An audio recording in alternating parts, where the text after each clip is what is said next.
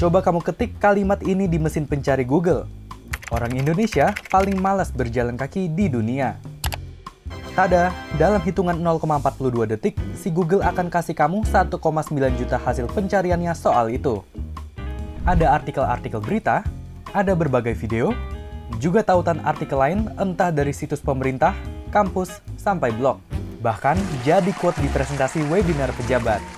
Yang jelas, semuanya punya satu rujukan sama, Studi yang terbit di jurnal Nature pada 2017, buah karya para peneliti Stanford AS. Tapi, emang bener penelitian itu bilang kayak gitu? Kalau dibaca langsung dari studinya, ya kira-kira begini. Scott Delk dan Juri Leskovic mempelajari data 68 juta hari rekaman langkah menit demi menit dari 717.527 orang di 111 negara. Data ini berasal dari aplikasi telepon pintar bernama Argus yang dikembangkan Azumio. Terus, mereka fokus ke data 46 negara yang setidaknya punya 1000 pengguna anonim. Ini jadi syarat dasar buat ngebangun kesimpulan yang valid secara statistik. Dan ketemulah data secara global. Rata-rata 4.961 langkah per hari selama rentang rata-rata 14 jam. Nah, di situ Indonesia ada di posisi buncit dengan 3.513 langkah per hari. Ini nih yang bikin media-media di Indonesia lantas ramai-ramai memberitakan orang Indonesia paling malas berjalan kaki di dunia. Padahal, ngebaca riset dan studi itu perlu cermat dan hati-hati. Di studinya, dua peneliti Stanford itu mewanti-wanti soal keterbatasan instrumen yang mereka pakai. Pertama, soal sampel. Sebanyak 90% data yang dua peneliti Stanford itu pakai berasal dari 32 negara berpenghasilan tinggi.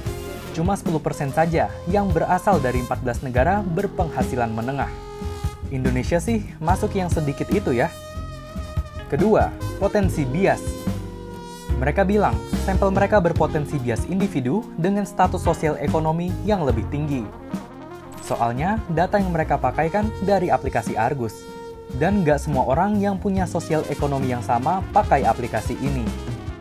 Ini berarti banyak orang yang nggak terekam aplikasi Argus, apalagi orang-orang yang nggak pakai smartphone. Ketiga, konteks analisis dari hasil studi. Mereka itu nggak sebatas ukur-mengukur perkara langkah kaki per hari saja, tapi juga mempelajari activity inequality hingga perkara obesity levels. Apa maksudnya?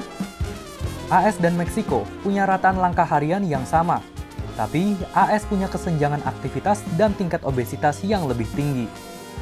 Sementara Indonesia malah menempati posisi menengah dalam daftar kesenjangan aktivitas dan tingkat obesitas, meski ranking rataan langkah perharinya paling bontot. Jikapun ranking ini valid, ada kondisi yang memang enggak memungkinkan orang Indonesia berjalan kaki lebih jauh. Misalnya, cuaca, polusi, hingga trotoar yang enggak kondusif. Terlepas soal studi dari Stanford, ada hal penting lain yang perlu kamu tahu juga. Ukuran standar jalan kaki sebenarnya enggak dimention WHO. Ukuran itu muncul dari gimmick pemasaran produsen alat pengukur langkah dari Jepang. Meski begitu, perkara klaim-klaim target langkah kaki ini bisa dipahami agar kita tetap sehat dan bugar. Karena itu, berjalanlah Selain menyehatkan badan, bisa jadi ia membuka mata kamu akan hal baru.